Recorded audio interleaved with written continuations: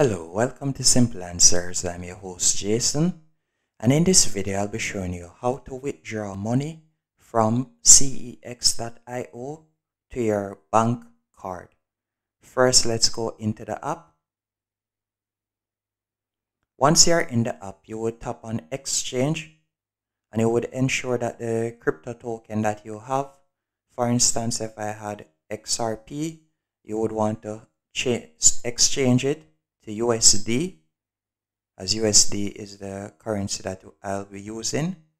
After you have done your exchange and has have the USD now in your account, you would tap on wallet and from there you would select USD then you would select withdrawal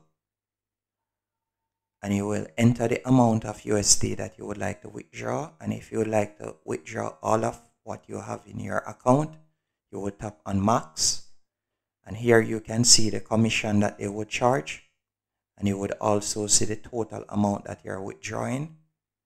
And then you would simply tap on your card and select I agree right here. And then you would tap on withdraw and that's it. That's how you'll be able to withdraw money from your cex.io account to your card Hope you found this video helpful and informative. If you did, be sure to hit the like button and subscribe. And thank you for watching.